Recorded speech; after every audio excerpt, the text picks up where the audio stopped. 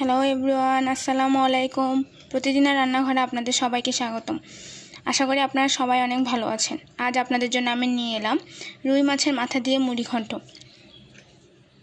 আমাদের বাঙালিদের অনেকেরই অনেক জনপ্রিয় একটা খাবার চলুন তাহলে রুই মাছের মাথা দিয়ে মুড়ি ঘন্ট রান্না করতে কী কী লাগবে তা একবার দেখে নিই।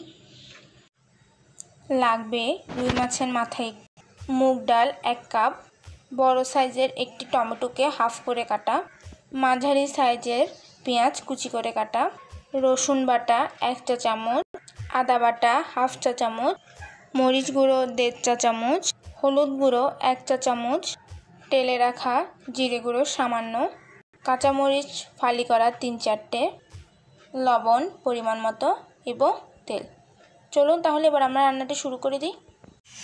প্রথমে আমরা একটি কড়াই চুলায় দিয়ে তাতে মুগ ডালগুলো ঢেলে দেব। মুগ ডালগুলোকে ভালোভাবে নেড়ে চেড়ে হালকা হালকা ভাজা ভাজা করে নিতে হবে। তাহলে এটা গ্রানটাও ভালো আসে এবং খেতেও অনেক ভালো লাগবে। মাঝারি আছে আগুন দিয়ে ভালোভাবে নেড়ে চেড়ে এগুলোকে টেলে নিতে হবে। যখন দেখবেন এগুলো হালকা হালকা ভাজা ভাজা হয়ে এসেছে, তখন এগুলোকে আমরা নামিয়ে ফেলব। এই যে দেখুন, আমার এগুলো ভাজা ভাজা হয়ে এসেছে। আপনারা যদি ভাজা ভাজা হয়ে এসেছে এটা বুঝতে না পারেন, সেই ক্ষেত্রে একটাকে আপনারা নিয়ে ভেঙে দেখতে পারেন যেগুলো ভাজা ভাজা হয়ে গিয়েছে। তারপর এগুলোকে আমরা নামিয়ে ফেলব এবং এগুলোকে আমরা একটি পাত্রে পানিতে ভিজিয়ে রাখব। এই যে দেখুন, এগুলোকে আমি একটা পাত্রে পানি নিয়ে তাতে ভিজিয়ে রেখেছি এবং একটু নেড়ে দিলাম যতক্ষণ পর্যন্ত আমাদের মাছ কষা হবে, অতক্ষণ পর্যন্ত এটা ভিজিয়ে রাখলেই হবে। আর কেউ যদি না ভিজিয়ে রান্না করতে চান তাতেও পারবেন কোনো সমস্যা নেই। এরপর আমরা কড়াইতে পরিমাণ মতো তেল দেব।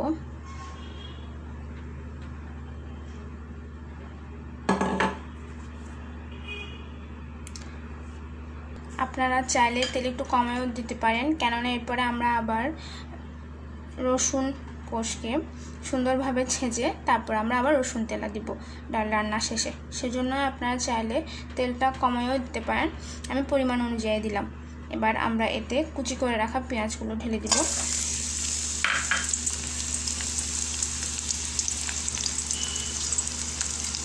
আদা বাটা, রসুন বাটা দিয়ে একটু মুড়ি চেড়ে দিই।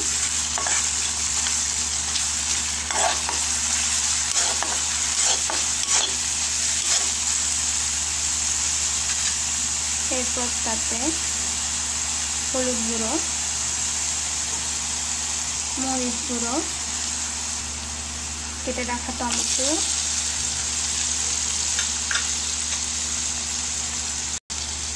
হালকা লবণ।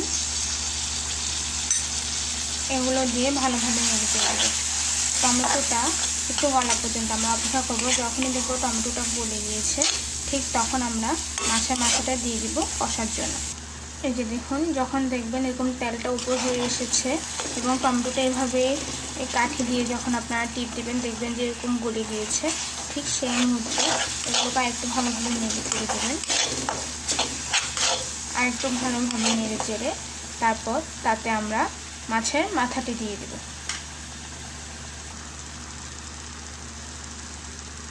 রুই মাছের মাথাটি দেওয়ার পর আরেকটু ভালোভাবে নেড়ে দেবেন, যাতে মশলাগুলো মাছের চারিপাশে লেগে যায় এবং মাছের ভিতরেও ঢুকতে পারে। সেইভাবে ওগুলো ভালোভাবে নেড়ে চেড়ে দেবেন। ভালোভাবে নেড়ে চেড়ে এবার আমরা মাছটাকে দশ মিনিটের জন্য কষতে দেব। দশ মিনিট পর যখন দেখবেন মাথাটি এরকম কষে এসেছে, আমরা আরেকবার নেড়ে চেড়ে দিচ্ছি যাতে মশলাটা চারিপাশে লেগে যায়। মাথাটা কিন্তু আমাদের কষা হয়ে গিয়েছে। এই এই পর্বে আমরা সেই ভিজিয়ে রাখা ডালগুলো দিয়ে দেব। ডালগুলো দিয়ে দেওয়ার পর এরপর আমরা এগুলোকে ভালোভাবে নেড়ে চেড়ে দিব।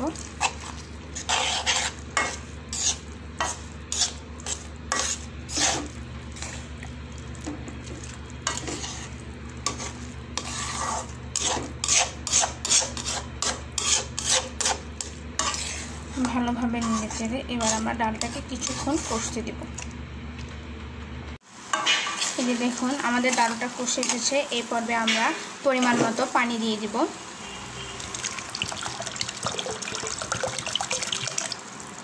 পরিমাণ মতো পানি দিয়ে ভালোভাবে এগুলোকে আবার নিয়ে চেড়ে দিতে হবে।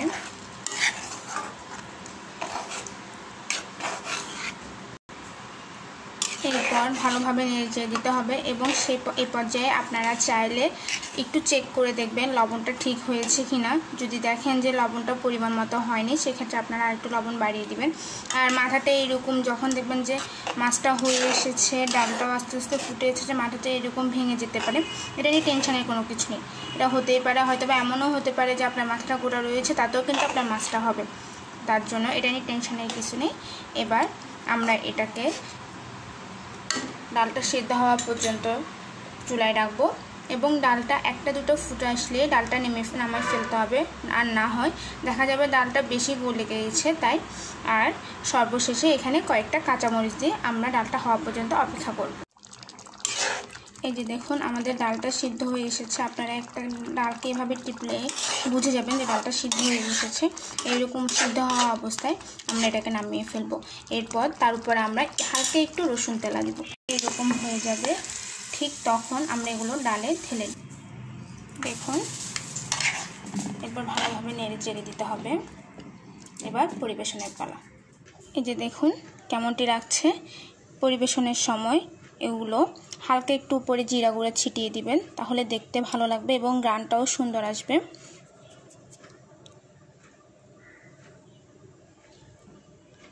হালকা একটু ধনিয়া পাতা। শেষে উপরে অল্প কিছু পুদিনা পাতা দিয়ে পরিবেশন করুন। মজাদার মুড়ি ঘণ্ট আশা করি আপনাদের সবার কাছে অনেক ভালো লেগেছে। যদি ভালো লেগে থাকে, প্লিজ লাইক করুন, শেয়ার করুন, কমেন্ট করুন এবং আমার চ্যানেল নতুন হলে অবশ্যই সাবস্ক্রাইব করুন এবং আমাকে কমেন্টে জানান আপনাদের কাছে রেসিপিটি কেমন লেগেছে। আল্লাহ হাফেজ।